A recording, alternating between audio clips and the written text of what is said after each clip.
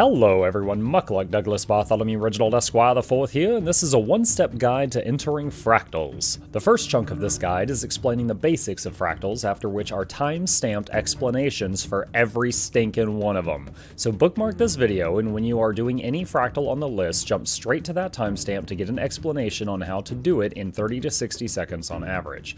Now, fractals are similar to dungeons in that they are 5-man PvE content.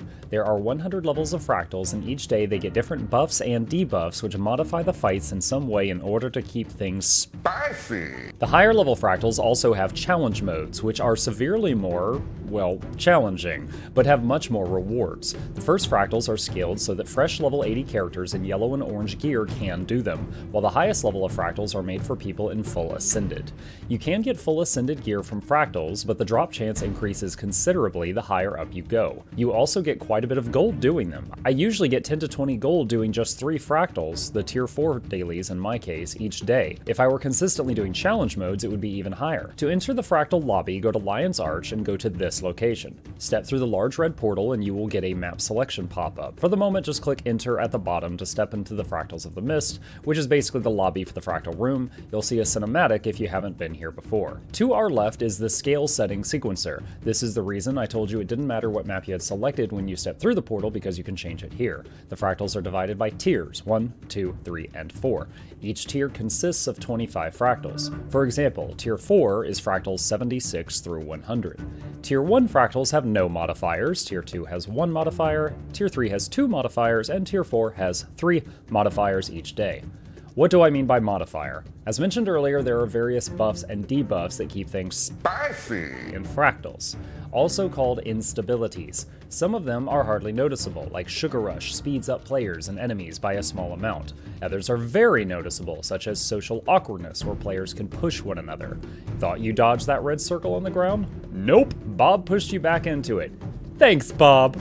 To see what any modifier does, just mouse over it in the top right corner or read it in this panel. At the start, you will not be able to select mini maps. That is because of your personal fractal level located in the top right corner. Here's how it works. Your personal fractal level increases by 1 for every fractal you do that is your level or higher. So if your personal fractal level is 5, doing fractal 1 won't raise your level, but doing fractal 100, oh god, why would you do that, would raise your level. It will go up by 1 each time you raise it no matter what fractal you are doing. If your personal fractal level is the highest in the party, you can queue for any fractal that is your level plus 1. So using the same example, if your personal level is 5, you can queue for anything between 1 and 6. Note, if you are in a party with someone with a higher level than you, you can join them in any fractal and your level will benefit from it. That's how you can possibly have a level 5 doing a 100. Once you've chosen which fractal to do, select it, click OK, and step into the beam of light in the center of the room here. Once everyone hits it they are ready, you're off. Now, there are a few bits of information for every fractal that can make it a lot easier.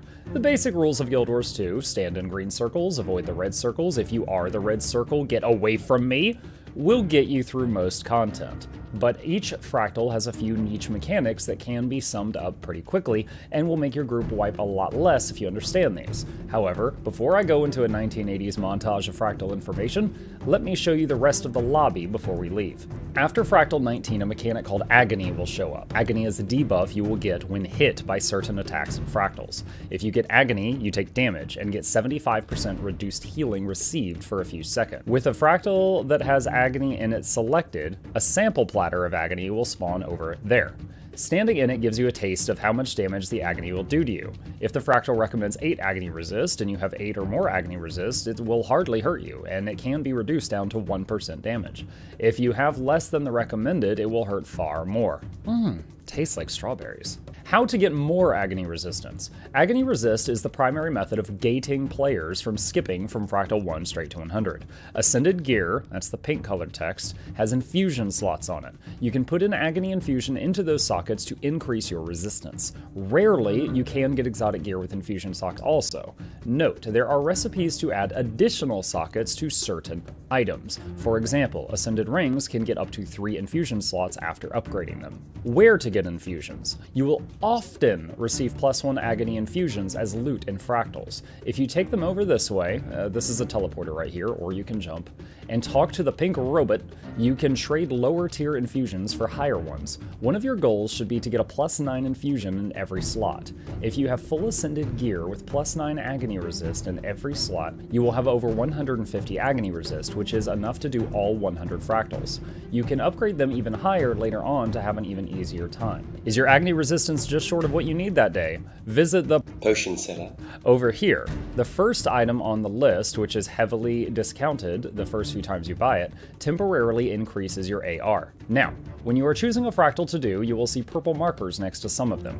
Those are either the dailies or the recommendeds. The dailies will give a lot of gold profit, the recs will give a lot of currencies used in the fractal room itself and some free potions. If you do the daily on a higher tier, you get the rewards from all the tiers below it.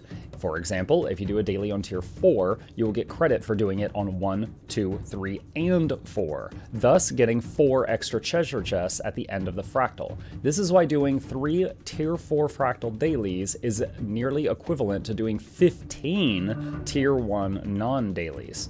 Now, occasionally in your fractal loot, you will get a fractal encryption. It's like a box, and fractal encryption keys. Open the boxes with the keys for all kinds of materials, ascended stuff, and gray items that are worth a lot of gold. This is where most of the gold comes from. If you have extra boxes, go to the blue robot over here and buy some deeply discounted fractal keys. Never buy more than 30 in a day because the price shoots up after that. If you somehow have a ton of extra keys, you can buy more encryption boxes from other players on the market. However, it is not profitable to buy both the keys and the boxes both just by the one that you're missing. Also, there is a jump puzzle in here. It starts there and it ends up there. Good luck with that. There's a few other things in here, Laurel's Merchant, Bank, Trading Post, Practice Golem, etc. Standard stuff. This here is a Mist Lock Singularity. Once you have finished your Fractal Attunement Masteries, it gives you a buff. For the most part, you just slap that sucker whenever you run past one in a Fractal once you have the attunement. Okay, time for the knowledge bomb. I firmly believe that each fractal can be explained in less than 60 seconds or so with visual aids, and while I could make a separate video for every one of them, that seems silly. So what I'm going to do is hit you with everything here. If you want information on one in particular, look at the timestamps. Here we freaking go. Volcanic. In the first room, you will get ambushed on all sides. Hug the right wall and step up onto the ramp. This forces the enemies to all attack you from one direction. If someone wants to fight in the middle of the room, res that person when you're done. Finish killing the monsters, follow the boulders, don't get squished. First boss, don't let the enemies reach the hostages, pick up the infused stones on the ground, throw them at the boss on the throne to remove his invulnerability. Once his shields are down, he will attack. If everyone stands under the throne, he will lose line of sight and will come down so you don't have to fight him up on the cliff. Once he's dead, most groups will take a shortcut. Instead of going down the nice safe hallway to the right, most groups leap into the lava. As long as one person makes it across, you will unlock the checkpoint. Have everyone type slash GG, that kills you, and you will respawn above this spot. Jump back down together. Stay moving on this island. If you hold still, you burn. Hit boss, interrupt break bars. When he gets the big shield bubble, you have to hit him a number of times to break the bubble interrupt him right afterward, and also deal with all the ads in quick succession. This will happen a few times during the fight. Ads will try to root you, which will cause you to burn because you can't move. Uncategorized. Jump up the platforms, kill or run past the bird girls. Attacking the doohickey releases four prisoners. Kill the Monty Python rabbit first, then the human woman who drops bombs, then the two Ettins in any order. Or run past the harpies, run up the hill while playing dodgeball, when three people click the three buttons at the top of it, it disables dodgeball for the last two slackers. Old Tom has a mechanic where people pick up batteries to turn on the fans to vent the poisonous gas out of the room, and no one does that. Just stack up on him and burn him down. Tank and spank, baby. Jump up the platforms, kill the bird girls. If someone is good at jumping and rushes to the end, then the others can slash GG to teleport to them. You're at the final boss. Four robots, one at a time, then all four robots at once. The guy in the bubble will shoot at you with his gun the entire time. Necros can summon a flesh worm right on top of the bubble to stop the bullets, or you can use overpowered guardian bubbles to stop them for a time, making the fight much easier. Snowblind. Run up to the fire pit, use your special action button to light the fire. Hotkey this if you don't have it hotkeyed. Pick up wood piles and throw them on the fire. You take increasing hypothermia damage when you aren't feeling toasty, so don't stay away too long. Once the fire's been lit long enough, it will melt the wall. First boss. Pick up wood, light the five fires to weaken it, kill the elemental. It will occasionally try to put out the fires, shield them, or relight them afterwards. If all five go out, it will make a snowstorm that makes it hard to see for a few seconds and teleports you randomly. Run southeast from the ice boss. The path then curves east, then north, run towards the red map marker. Skip all the trash mobs, they do not deserve your valuable time. You're at the final boss. Lots of circles to dodge, but if you fail to dodge, you may get frozen solid. Teammates must break the ice to free you. Just keep avoiding red circles and hitting anything with a hit point bar until the loot shows up.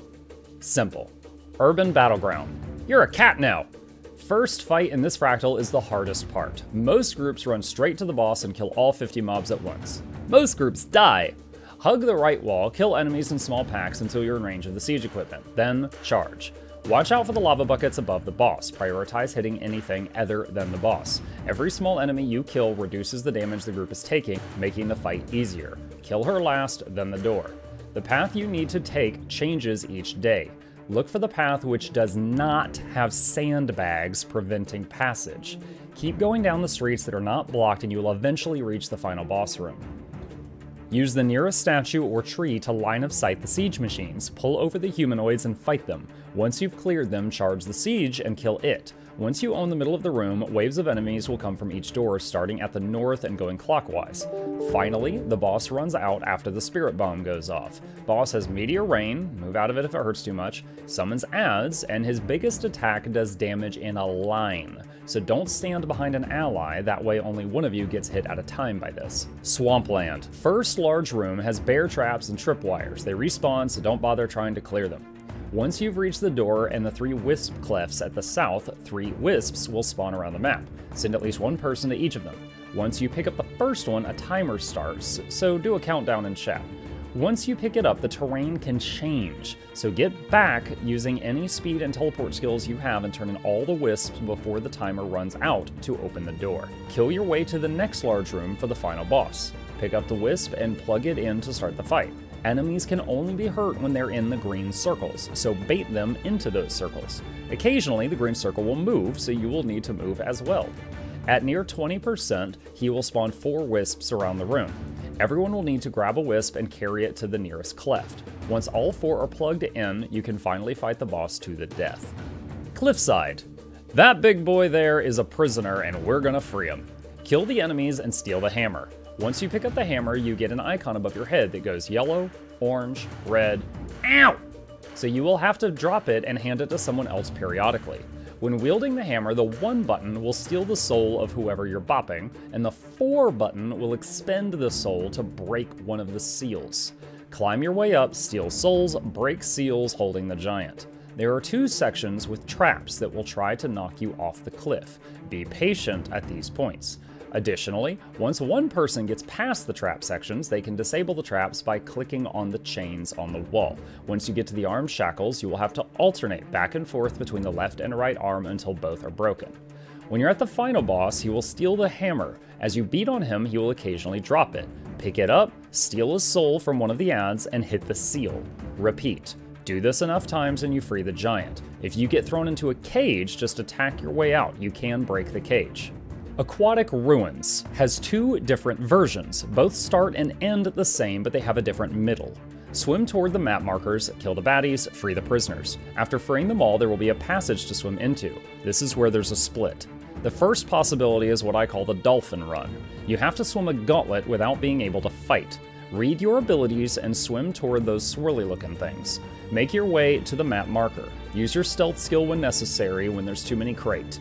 Once you get through the blue portal, you will be normal again. Fight your way to the next map marker, the room with the giant jellyfish is the final boss. The other possible path you may have had is the darkness path. Pick up the luminous plants. They decay quickly, so constantly grab a new one at every opportunity. Run to the next one. You die rapidly when in the darkness with no light. Remember, you can use dodge rolls for a boost of speed during this part. Make your way from plant to plant and kill what is necessary. At the end, you will reach the same boss jellyfish room. The jellyfish will spin to pull you in, occasionally you will grab one person and that person will have to hit a certain key to break free, and three times during the fight he will summon ads that make him invulnerable. Kill the ads, then come back to the boss. If bubbles hit you, they carry you to the ceiling. The electric cages hurt. Underground facility. Drop down, run up the ramp, send one person up the path to the left. That person will stand on a button at the top, which will open this door. Everyone step through. One person go up the ramp to the right. The remaining three people run forward and wait at the next door. When the one person who went up the ramp to the right stands on the button at the top, both doors open. So the first person can catch up to your group of three, and now the four of you can enter the next room together. There is a button on the left and right of this room. Stand someone on each of those buttons to open the door behind you, allowing the right path guy to catch up to you. It will also reveal a console. Someone needs to interact with it while the two people on the buttons stay on the buttons. The last two people are guarding the control panel person. Once the panel is finally finished, the door to leave this room will open. Go up the ramp and the path splits. If it goes to the left, you have to pick up these laser cutters. Get through the gauntlet while taking zero damage or else the laser cutter breaks and use it to cut open the big door at the end. Repeat until finished. If the path went to the right, you have to pick up bombs, run through the smoke to stealth, run up the hallway, avoid the circles while you're stealthed, the straight lines are okay, and put the bombs in the pipe. Once you have 9 bombs in the pipe, hit the detonator. The two paths will meet back up in this room. Kill this guy, his car will break the wall. Run through this hallway, you don't have to kill this stuff. At the end of the hall, follow the left wall up and around the catwalk. By the time you get to the far side of the room, all the mobs will have given up because they don't do cardio. Engage the boss, it will be an ice guy or a dredge robot, but the fights are basically the same. If you get the purple marker on your head, he's following you. Lure him underneath the lava buckets. Someone else in the group run up and click the button to dump lava on the boss. Hit him for big damage, CC him when possible. When the lava debuff wears off, bring him to the next bucket. Do it again until he's dead. Molten Furnace. Follow the Foot Clan's drill machine. Whenever you hit the water cutters, take the side passage and destroy the blocked vents to remove the water wall. Do this repeatedly until you reach the end of the tunnel. Fight some stuff, wait on the water wall. This one's on a timer cross the lava or go around it to the final showdown. This fight can be summed up with fire bad, but here goes. Dodge the red circles, kill the mobs. Hit the metal zit in the middle of the room whenever possible, jump over the shockwaves. Fire tornadoes will start forming and zoom across the room. Constantly turn your camera to watch them. Kill the mob, kill the zit, dodge the fire and the shockwaves. Final boss finally reveals himself. Get his hit points to zero, he will occasionally teleport around the room. Molten Boss. Kill, kill, kill. Whenever you get to this group, you can run over to the left and line of sight them behind this wall so that they funnel together. It's not required, but it is an option. Eventually clear this room, kill the big boy, hack your way to the end of the level, and there are two bosses. When you kill one, the other will fully heal, so don't bother trying to cleave them both down. Pick one, kill it, then kill the other. Don't stand in fire, jump over the shockwaves, don't stand in the 100 mile per hour winds, and don't fall off the cliff. Deep Stone. Drop down, choose left or right, it doesn't matter. Let's go left. The lights hurt, get to the end of the puzzle. Two people stand on the buttons to disable the puzzle for the slowpokes. Fight the Electro Spider. Red circles are bad, the embroidered red circle is super bad. That one will pick you up in a tornado and drop you off the cliff. Dodge that thing at all costs. Kill the Electro Spooter and pick up the shiny ball. You're at the entrance. Give the ball to the crystal. This time we'll take the other path. Don't get pushed off by the wind. Make your way to the two buttons. Stand on them to turn off the wind. Hack your way through the spiders, kill the giant spooter, pick up the ball, give it to the rock. You now have a special action button that reveals invisible monsters. Use it to reveal this guy. Kill him, go through the middle door. Use the light to reveal floor tiles and make your way across this pit. Fight on an elevator, reach the final boss. If the floor is blinking, it's about to collapse. You can fix it with your light button. He will periodically teleport, follow him, build floor if necessary with the light. If he goes invincible in the middle of the room, prioritize killing spectral flames. They will power up his spirit bomb. If too many reaches him, he goes boom. Rinse and repeat this until he's dead. Note, if you see sparkles around the level, that's an invisible treasure chest. You can use the light on it to reveal it. Siren's Reef. Welcome to Pirates of the Caribbean. Kill your way across the beach until you reach the giant Sonic the Hedgehog. Watch the tail! Kill him until he runs.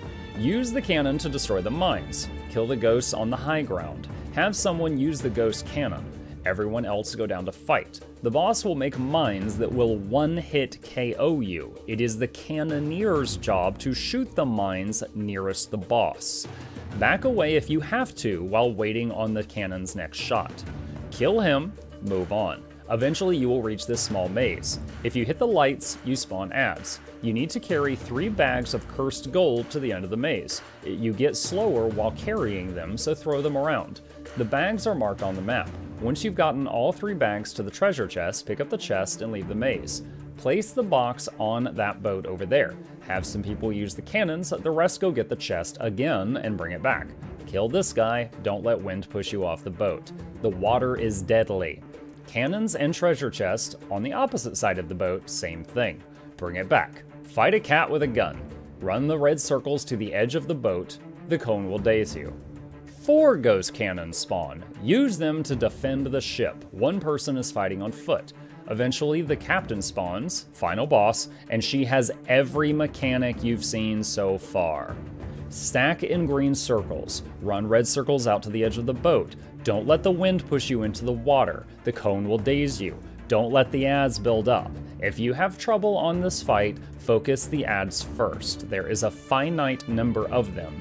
For you Norns, that means they're not endless. Chaos. Oh look, it's Cliffside again. Nope, it's Chaos. Buckle up because it's about to get weird.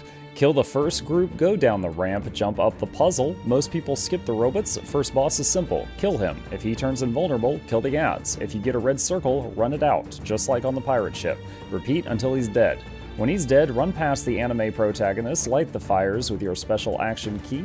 You can see the fires on your minimap. Once you light the last one, the wall melts and the final boss room is revealed. The boss's weapon swings go 1, 2, 3, 1, 2, 3, and every 3 is an area of effect daze. Step back for those if you're melee. If he gets an invulnerability shield, drag him over the damaging tiles to destroy the shield. When he gets an interrupt bar, either interrupt him or get back before he vacuums you in.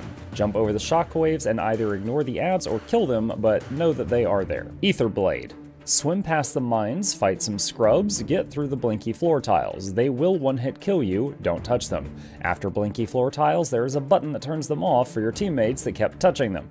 Make your way up to Panic at the Disco, get to the control panel with the red gear above it and turn it off. Use the teleporter to reach the next room. Objective, survive. After you've killed most of the enemies, the doors will open. Finish the last of them off, talk to Ellen to teleport to the boss room. Kill all the enemies there while dodging laser, skip it. If you need to jump over a low beam, you can jump over the boxes to do so. Thaumanova Reactor. Congratulations on getting to play the best race. Detonate the wall to step through to see a nuclear plant under attack. There's a list of things you need to do that can be done in any order, but this is what most groups will do. Go to the middle, kill the red skull guy. Go south, the door will open. Use a safety shield to block if you want. Someone needs to stand at 1 and 2 on the minimap and press those console buttons simultaneously. A third person stands at 3 and presses all three consoles. After pressing the first console, you will be rooted, but if you stand right in the middle, you can hit all three without moving. This room will shut down, grab the coolant rod when you leave. Go east, kill everything in here with a hit point bar. When the last thing is cleared, there is a control panel you can interact with. Someone grab the coolant rod when you leave. Go northeast. This fight is harder than the final boss. Two things you need to know. Green slimes heal the ooze, so kill the green slimes to prevent the boss healing. Also, when he turns into a shield, like a big dinner plate shape, stop hitting him. If he gets hit with enough attacks while in shield form, he will explode, usually a party wipe. When he's dead, someone press the console. Bring all your coolant rods to the west room. When you step in, it hurts. Holding down the 1 key speeds you up. Go to the nearest map marker and plug in the rod. Keep doing this until you reach the end and hit all the console buttons at the end. Same trick as earlier, stand in the middle between them and you can do it with one person. Finally, go to the middle of the plant and interact with the console for the final boss, Dr. Manhattan.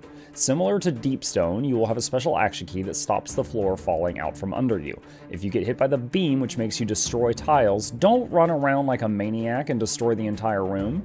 Move every 2 to 3 seconds and move away from the boss. If you destroy all the tiles around him, the melee can't attack.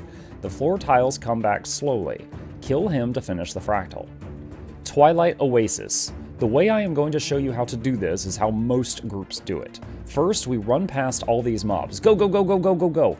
Fight the mob with the map marker. If your group can't do this, then kill your way there slowly. Once the marked mob is dead, all the mobs chasing you will give up. Once it's dead, go past that mob and follow the right wall to reach High Priestess Amala. Fight her until 75% until- Oh god, you all died. No, it's okay. Praise Joko! With your new zombie legs, you have a super jump special action key. It is also a stun break, so use it if you get in trouble.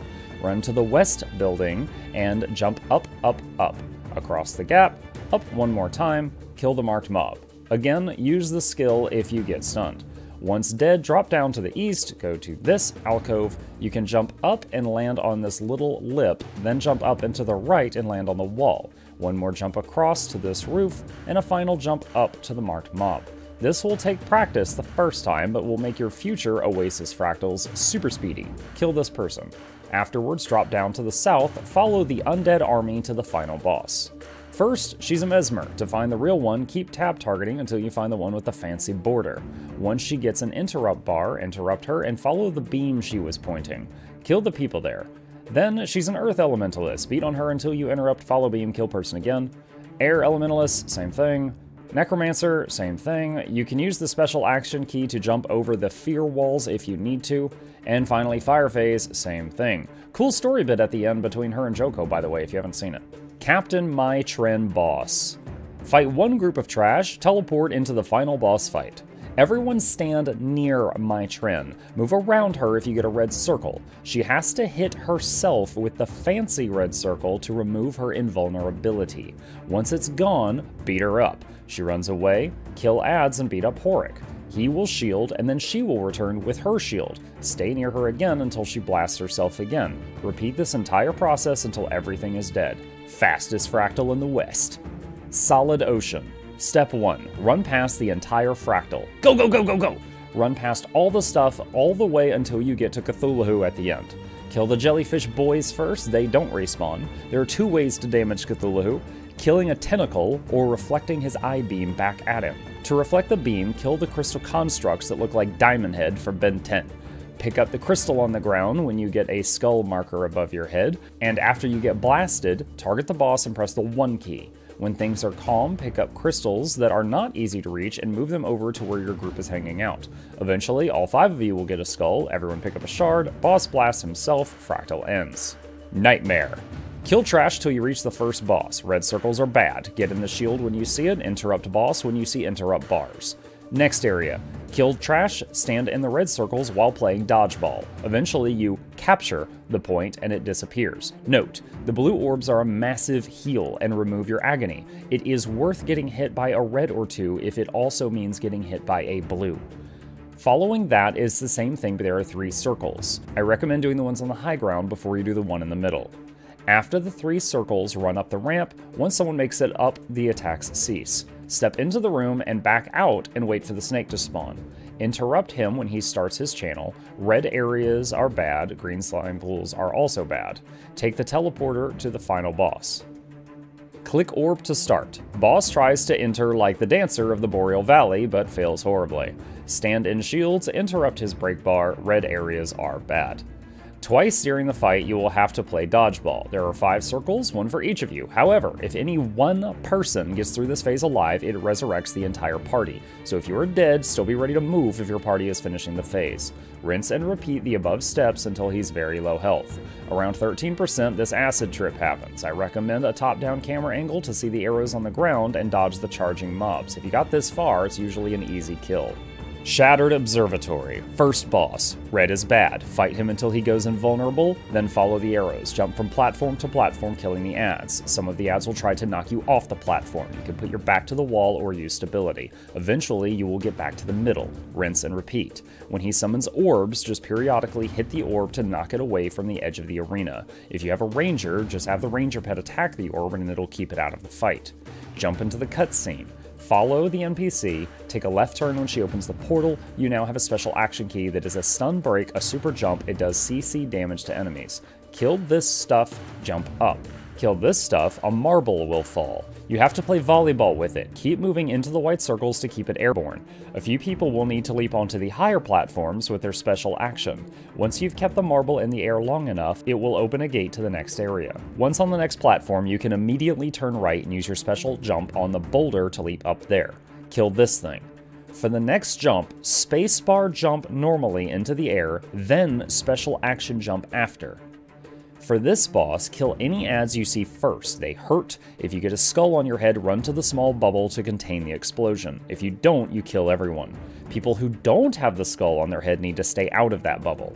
When she splits, use crowd control. Remember, the special action key is CC also, to kill the copies. When she summons the marble, someone needs to dedicate themselves to bouncing it. Every time the marble hits you, your special action key will reset, so you can use it between every single marble bounce. Eventually, you will hit the marble back to her and stun her. Be ready to dodge roll when she disappears and reappears. Rinse and repeat these steps to defeat her. Follow the path and NPC to the final boss. When he summons the orbs that tether to people, those people need to run to the pillars and drag orbs with them. Usually people go clockwise. Don't hit the orbs if those people don't need your help. If they do need your help, you can hit them to knock them away from you. Destroy all pillars. Look away from boss when he has this eye above his head. If you accidentally get CC'd, use your special action key to break it. Red circles are bad. If you get a skull on your head, run to the containment bubble again, just like on Marble Girl.